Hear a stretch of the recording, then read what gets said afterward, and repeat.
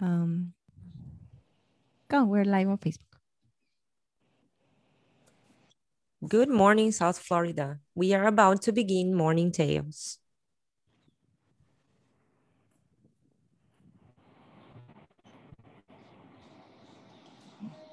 We already know that COVID 19 is changing people's lives worldwide in many ways.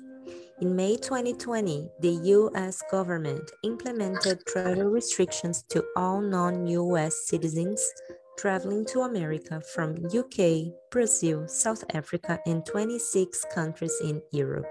Morning Tales is a four episode interview show that shares special stories about how the pandemic has affected the lives of people living in the United States with family members abroad be part of this conversation on Thursday mornings on UIC Radio. Hello, everyone. This morning, I want to extend a warm welcome to all of you joining us on UIC Radio. Every Thursday morning, we gather together to chat, have conversations, and tell stories. Today, I welcome Ana Carolina Coutinho, she moved to US in 2015 with her family from Brazil when her, her husband was designed for a job here. She's a psychologist, currently studying her master's degree in mental health counseling and work as a substitute teacher in an elementary school. She's a totally devoted mother of three amazing kids. Today, she will share with us how her life was affected by the travel restrictions during this pandemic. Anna, thank you so much for joining us today. Thank you, Renata. It's a pleasure to be here.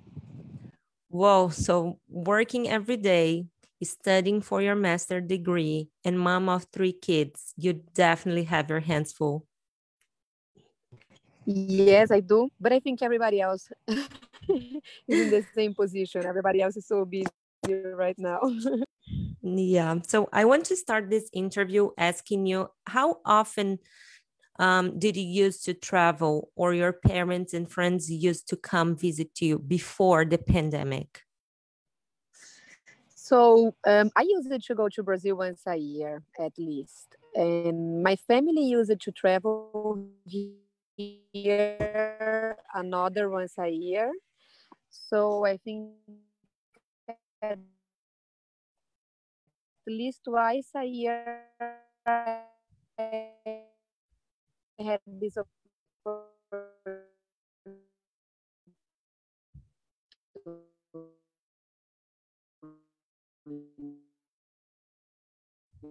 Sorry, I think we have connection problem. Anna, can you hear me? Anna, can you uh, hear me? Being close to my family.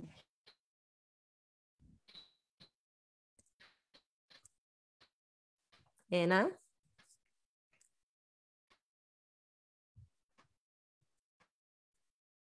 I'm sorry, I think we lost connection. We'll try to reach Anna again.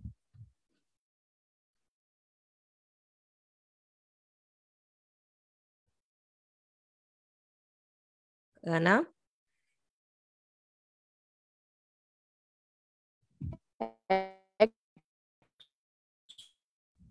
Actually, uh, we have made before moving to US that we will.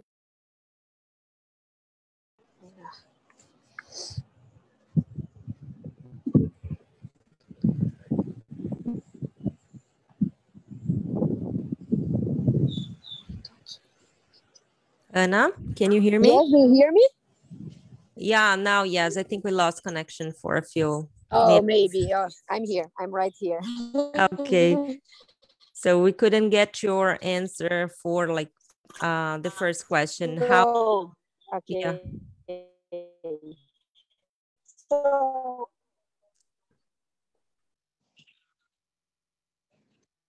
at least once a year. Here, another once a year. So at least twice a year i had this opportunity of being closer to my family um, actually that was a family agreement we have we had made before moving to the us that we would see family every year and yeah that was what i was expecting but well we would never imagine this pandemic and everything that that is going on right now Yeah.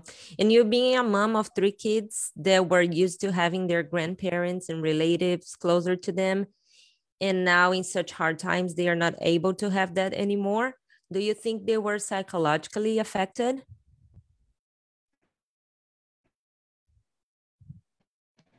Yes, was psychologically affected. I think no one will go through such a year without being impacted. Um, the thing with the children is that so like all their activities were canceled and um, among all the things that the kids are going through not being able to travel i think it's just one more thing and although it's hard i think uh, it ended up being kind of suppressed by all the other changes they needed to deal with yeah, and I imagine you guys manage a way to stay close to your loved ones. What options did you find? Yeah, we are getting closer through Skype. Um, yeah, the things we are doing what is possible. At the beginning, I think we were all pretending everything was fine. Uh, we were pretending that we were doing good, like if it was normal. I don't know, like share Christmas through Zoom. I think when we were pretending, I don't think it was very good. But by now, I feel that everyone got to a point that we do not pretend anymore. And in a way, I think by sharing our distress, even our loneliness, by being honest and vulnerable with our families, even at distance, I think we get closer in a way emotionally. That's what we have been doing here. Yeah. And uh, with all that's going on, can you still see a good side of it? Good side. Um, yeah, not related with the travel restriction itself, but in a broader way, I think there are some good things happening during this pandemic. Yeah, especially to families like families with kids like mine. I feel families are getting closer. Um, they are I don't know, enjoying the simple things like I see some families together, play games together. And I also have heard about people who get to know their neighbors, you know, since they were staying at home for so long and they use it to travel. They they have no idea about who were the people next door. And now I think they start to get closer to, to their neighbors, for example. So I don't know. I think the whole pandemic dynamic, um, I think the dynamic of the families and communities have changed. And yeah, I see some good on it.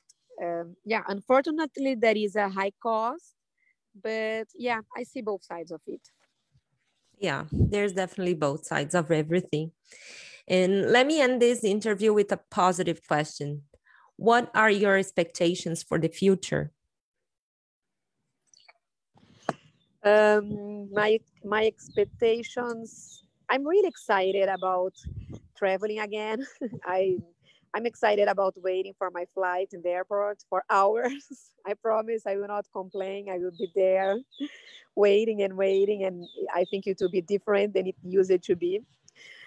But seriously, um, I just hope everything will get back to normal. Um, I hope we do not forget. I hope we can remember how it is the simple things. Uh, I hope it is um, different, but the same in a way. I hope we, we remember how it is to take care of each other in our own house, how valuable some little things can be. And yeah, I hope we do not take all for granted, like our freedom, our, our wellness. I hope we do not take it for granted anymore.